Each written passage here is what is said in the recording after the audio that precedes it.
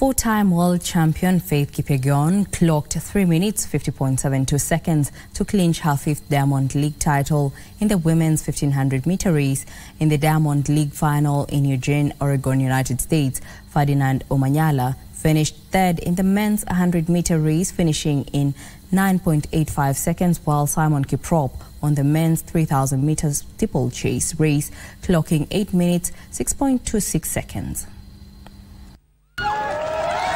Faith Kipyegon has again posted great results after winning the women's 1500 meter race in 3 minutes 50.72 seconds to win her fifth Diamond League title.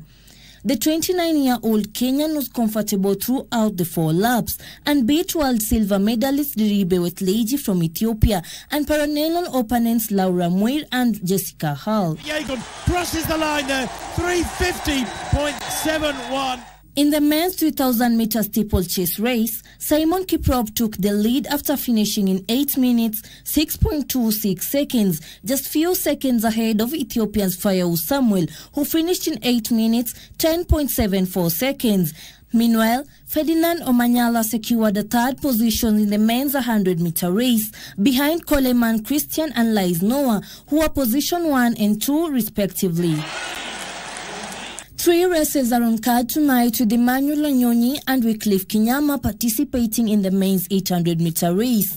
Beatrice Chebet and Lilian Kasait will be participating in the women's 5000 meter race, while Mary Moraa will participate in the women's 800 meter race. For lunchtime news, I am Faith Akinyi.